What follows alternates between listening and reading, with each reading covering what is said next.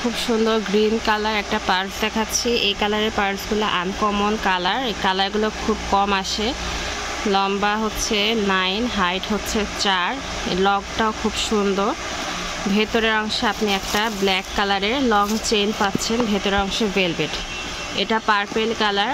খুবই পপুলার একটা কালার। এটা হচ্ছে লকটা ভেতরের অংশে চেন পাচ্ছেন লং চেন এটা হচ্ছে রেড কালার।